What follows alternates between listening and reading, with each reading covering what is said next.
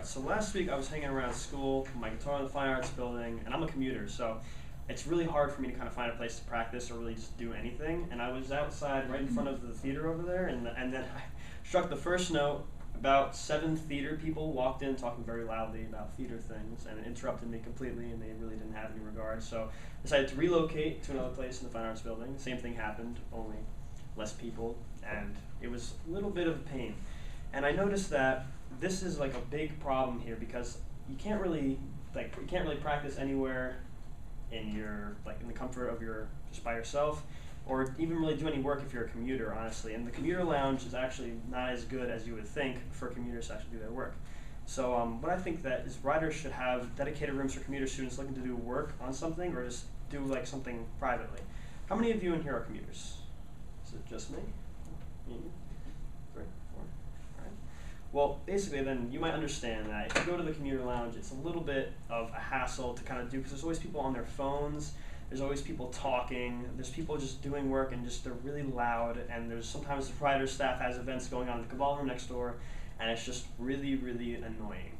So you don't really have any private place to go. And so basically, commuters have to have a place that's peaceful and quiet in order to study and do their own work and stuff. And um, there's no commuter study, stop, study spot, and it can be solved if they install private rooms on campus. Uh, because commuter students spend limited time on campus and limited time creating relationships with other students, faculty, and staff, they have fewer opportunities to engage in interactions with these individuals. Basically, this is kind of like connecting to the point that commuters don't have a lot of time to kind of go around and do anything really, like without being in a rush. So they need a place to go where they can get their work done quickly and then they'll have time to do everything else. And that was actually from a study from education.stateuniversity.com. And also, there's another piece of data from a chart from George D. Kuh and Robert M. Gonyea from the Disconnected Commuter article, and this kind of shows that education in commuters and the average driving commuter is actually lower than education for somebody who lives on campus, as in like statistics. And um, the average driving commuter students' numbers in the categories for retaining information and grades will be lower than the ones that live on campus and this can reflect how much trouble they have by not having a stable place to work on campus. So now that I've told you a little bit about the problem, I'll tell you a little bit about the solution. This can all be solved, once again, if the private rooms are installed, installed in some of the buildings. And it will give commuters a place to go if they need to get their work done or practice anytime they want.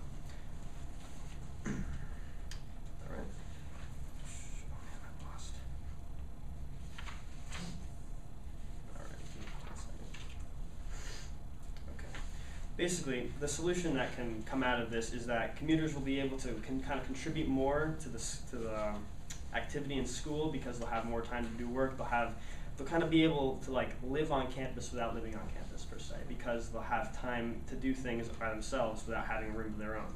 And um, they have limited time to do everything and they need to maintain a good college experience. They have little time with friends, little time with professors, limited time for work, and why not make it easier for them to get everything done in a timely manner?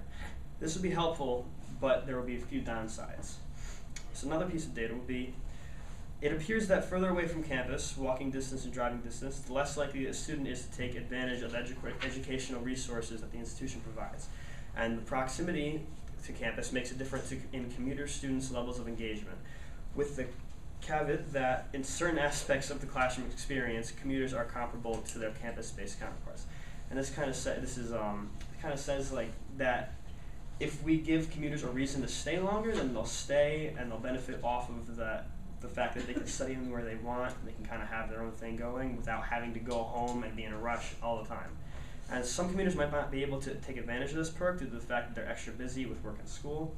And there's also possibilities that a lot of commuters can be using all these rooms at once, and that there won't be a room for someone else because there's an overabundance, and that's why there'll have to be like a time management system. But if enough people go to the Rider administration with this idea, then there, we can get proper funding and actually perform it. It would be possible. This would make the lives of commuters much less stressful and much more convenient, and the commuter lounge doesn't really cut it when it comes to work because of all the phone calls and interruptions and overpopulation of the commuter lounge. And it's really time something is done about that.